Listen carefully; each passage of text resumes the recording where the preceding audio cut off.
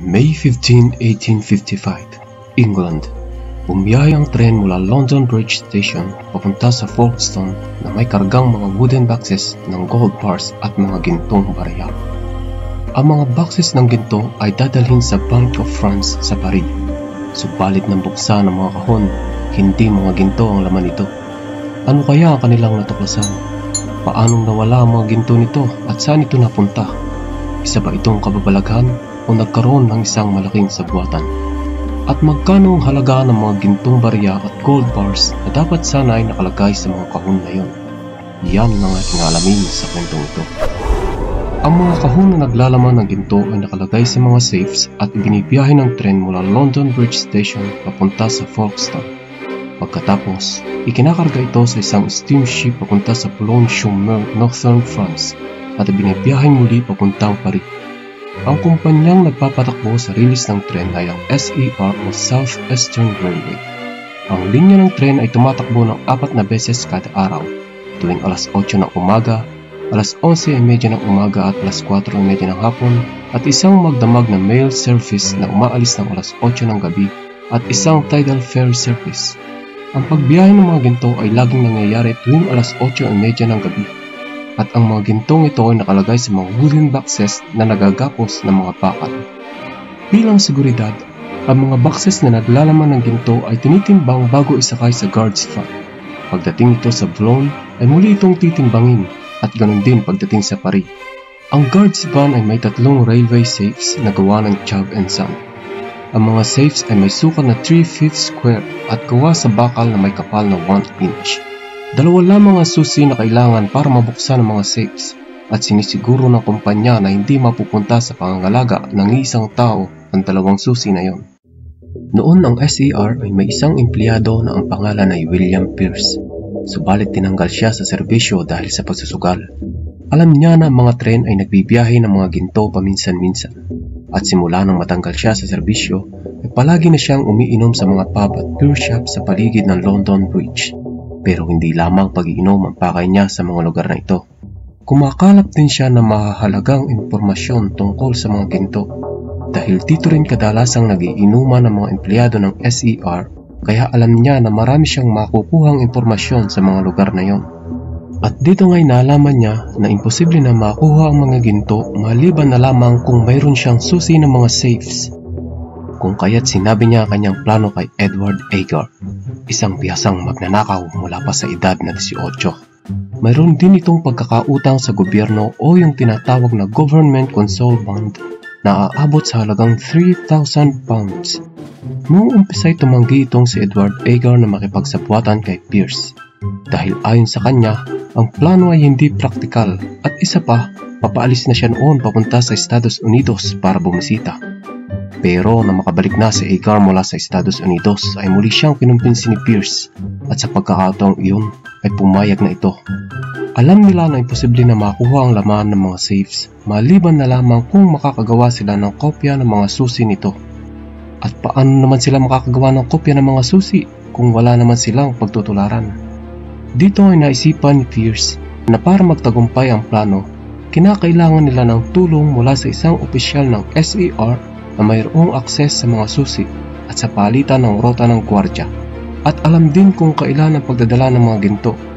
Ganun din ang tulong ng isang gwardya ng guards fund na pinaglalagyan ng mga safes tuwing ibinibiyahe ito. Sa puntong yon ay naisipan niyang i-recruit si William Tester, isang supervisor ng SER na nakasign sa London Bridge Station. Siya ang namamahala sa mga tren na nagdadala ng gold bars. At si James Burgess, isang gwardya ng SER na nagtatrabaho na dito mula nang mag-umpisang mag-operate ang kumpanya. Napapayag ito dahil ibinaba ang kanyang sweldo dahil sa paghina ng kita ng mga riles noong panahong iyon. At noon ngang May 1854, sinimula ni Agarth Pierce ang pag-surveillance sa mga seguridad na nakapalibot sa Folkestone. Pero nakalata sila ng municipal at railway police dahil sa sobrang tagal ng ginagawa nilang pag-surveillance. Kaya naman napagdesisyonan nila na si Agar na lang ang magsagawa ng pagmamasid sa lugar na yon. At bilang parte ng kanyang intelligence gathering, palaging umiinom itong si Agar sa Rose Inn. Isa itong public house na malapit sa pier kung saan din umiinom ang mga tauhan ng Riles. Dito ay napag-alaman niya na mayroong dalawang susi ang mga safes. Ang isang susi ay nasa pangangalaga ng SCR official sa London Bridge Station at ang isa ay iniiwan sa opisina ng Riles sa Folkestone Pier at inilalak sa isang cabinet doon. Makalipas ang ilang buwan, July 1854, nagkaroon sila ng pagkakataon na makakuha ng kopya ng mga susi ng safes nang maiwala ni Captain Mold, kapitan ng isang steamship, ang susi ng mga safes na nasa Folkestone. Kaya't ipinadala ng SER ang mga safes sa Chag para i-recondition ang mga locks at makapag-issue ng bagong mga susi. At ang nangasiwa sa pagkipag-ugnayan sa Chubb ay si William Tester. Pero na matapos ng Chubb ang pag-recondition sa mga locks at makapag-issue ng bagong mga susi, ay saglit na naipuslit ni Tester ang mga susi at nakipagkita kala Pierce at Agar sa Tory Street. At noon din ay gumawa sila ng impresyon ng mga susi sa green wax. Subalit dahil sa kaba nitong si Tester, hindi niya na malaya na dalawang magkaparehong susi ang kanyang nakuha sa halip na isa sa bawat kandado. Kaya't wala pa rin silang kopya ng isa pang susi. Paano sila ngayon makakagawa ng kopya ng isa pang susi? Dito'y naisipan ni Agar na magpadala ng mga gold sovereign gamit ang sarili niyang pera na nagkakahalaga ng 200 pounds sa SER line at nilalagyan ang kahon ng label gamit ang peking pangalan ni Agar na E.E. Archer, care of Mr. Ledger or Mr. Chapman.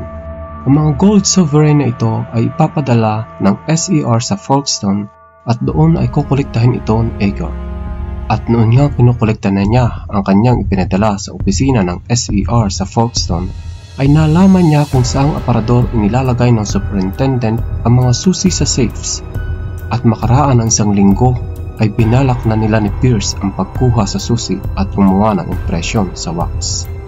Talagang umaayon sa kanila ang pagkakataon noong panahong iyon. Dahil noon ay may dumating na vapor galing sa Boulogne, France kaya't umalis sa opisina ang dalawang staff ng SER upang salubungin ang mga ito.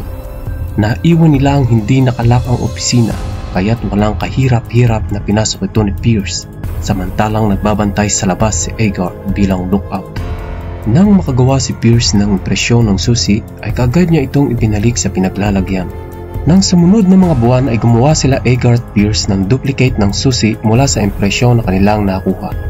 Pero paano nila matitiyak kung gagana ang mga susi na kanilang ginawa? Diyan papasok ang participation ni James Burgess. Kapag siya ang naka-duty sa pagbabantay sa guards van na pinaglalagyan ng mga safes, ay ibinibigay sa kanya ni Pierce ang mga duplicates para matesting kung gagana ang mga ito. Ilang beses ding nagpabalik-balik si Pierce sa Folkestone para matesting ang mga susi. Hindi naman siya nabigo dahil sa ikawalong pagbalik niya ay gumana ito ng maayos.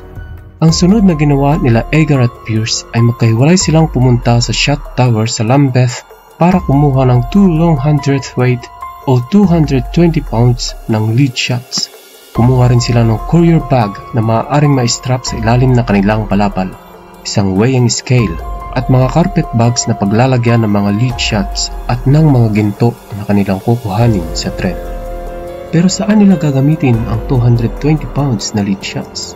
Mamaya ay malalaman nyo kung papaano nila gagamitin ang mga lead shots na yon sa pagpapatuloy ng ating kwento. May 1855, handa na ang apat para isagawa ang kanilang plano. Ang kailangan na lang nilang malaman ay kung kailan magaganap ang shipment ng mga ginto.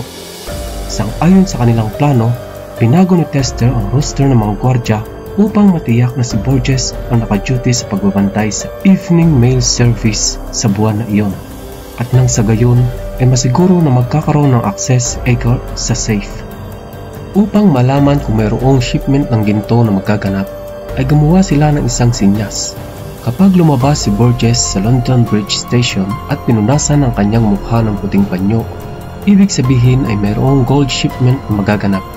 At dahil doon, ay maaalerto niya ang alinman kay Edgar o Pierce na naghihintay sa labas ng train station. Si Tester naman ay bibiyahe papuntang Red Hill Railway Station at doon ay hihintayin niya ang unang paghinto ng tren at kukuhanin niya ang mga bags ng ginto at babalik sa London Bridge Station upang hindi paghinalaan. At noong ngang May 1855, samantalang naghihintay si Agar sa labas ng London Bridge Station, Lumabas si Burgess na nagpapahid ng puting panyo sa kanyang mukha.